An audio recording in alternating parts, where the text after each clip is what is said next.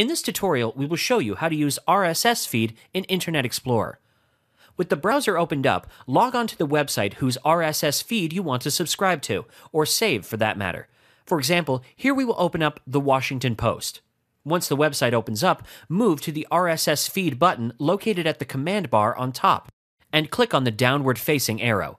With that done, a new menu will open up. Over here, click on the RSS option.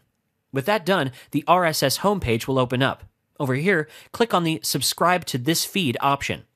Once the dialog box appears on the screen, simply click on the Subscribe button. And that's it. Now that you have successfully subscribed to this feed, you can click on the View My Feeds option to check out the posts from this particular website. With that done, the RSS feeds window will open up towards the left side of the browser. From here, you can access all the feeds from the website. You can also set the properties of the feed according to your requirements. For that, simply click on the View Feed Properties option. Over here, you can use the default schedule or make your own custom schedule for the feeds. Also, you can choose to allow the browser to automatically download attached files that come with each post.